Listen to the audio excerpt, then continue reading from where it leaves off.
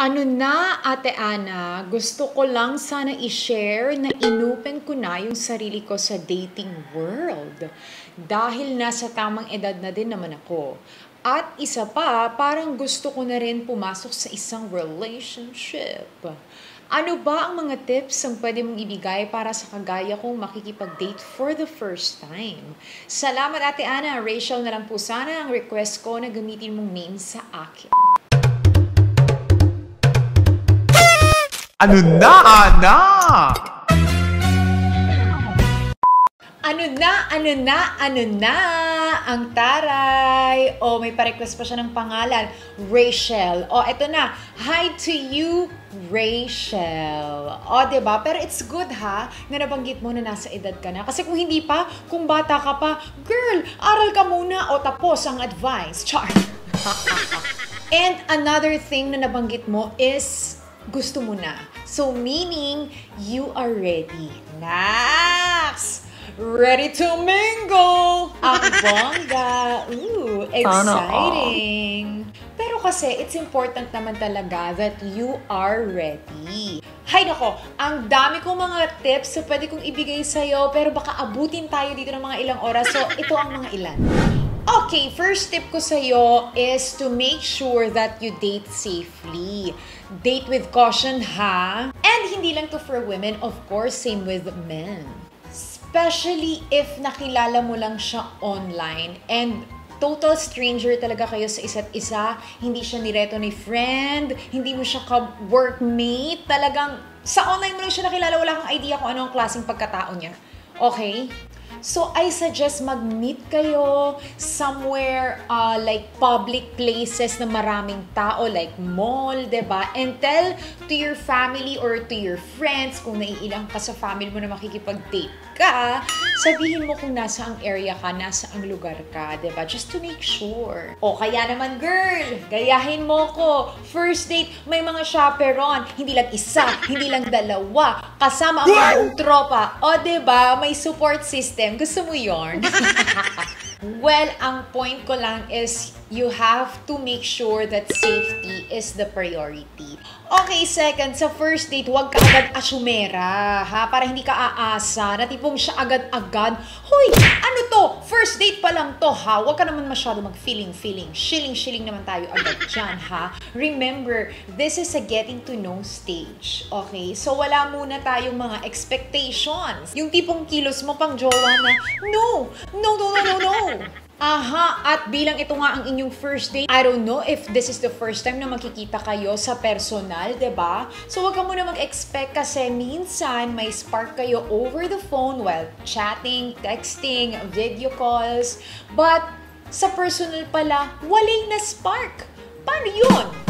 So, guard your heart, ha? Lagyan mo ng shield, ba? Diba? Be open, pero yung butas mo maliit lang. Liitan mo lang ang butas. Woo! Ganun. Okay, so don't expect too much, ha? Na tuloy-tuloy na agad-agad yon. I'm not being nega, ha? Ayoko lang na masyado kang ma-hurt agad-agad. First date pa lang to. Ha? At umuga yung boses ko. Char. Okay, so next tip naman dyan is be presentable. Kung feeling mo sa sarili mo na hindi ka masyadong kagandahan, hindi ka masyadong kagagawa, girl, kagag kaganda, kagwapuhan. Hoy, ano naman ka pinagsasabi mo? Okay, take two. Kung feeling mo hindi ka masyadong kagandahan at kagwapuhan, o, ayan, at least naman, be presentable, ba diba? Hindi yung pupunta ka doon na pawis na pawis ka, baskil na baskil ka, yung damit mo, ba diba? Tapos, for the smell ka. Umaalingasawang amoy. I mean, hindi naman kailangan na mamahalin yung suot mo or whatsoever, ba diba? Pero, yung decent naman tingnan.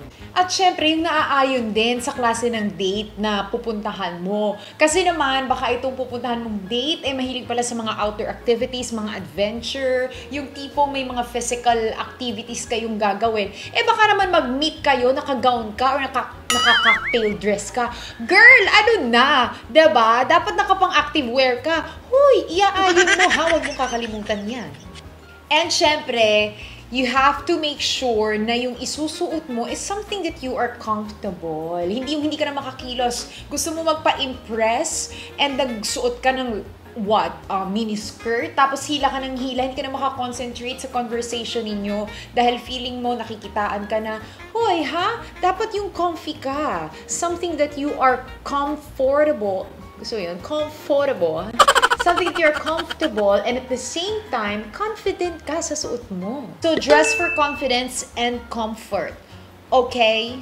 And syempre, it is also important to engage in a quality conversation, ha? Don't be afraid to ask questions, to open mga topics na gusto mong malaman about sa kanya.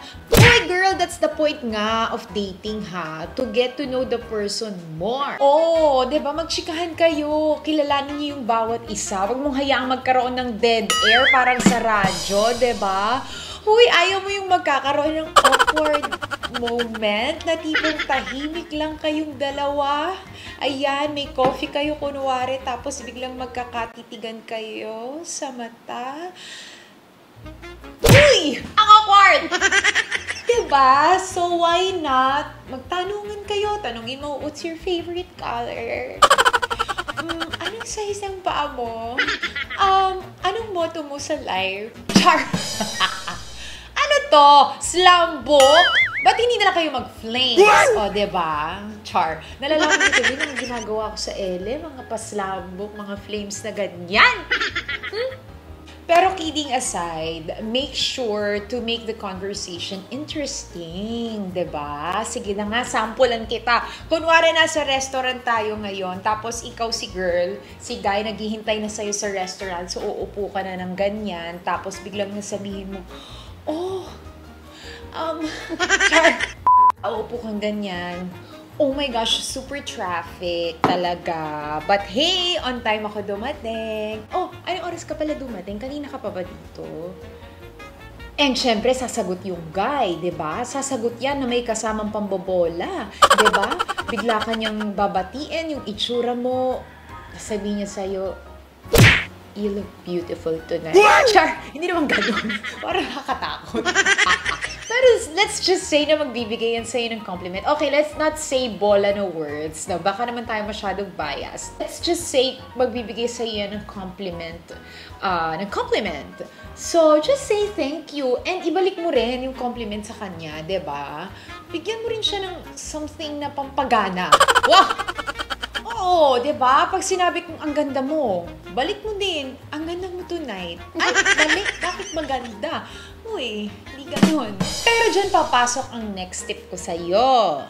Hmm, Don't forget to give compliments, mga good words. Imposible naman na wala kang makikitang maganda about that person, 'di ba? Kaya nga kayo umabot sa meet-up stage nyo at nag-date kayo for the first time. So why don't you like say something katulad ng, ang ganda naman ng damit mo, alam mo bagay sa yung mga ganyan.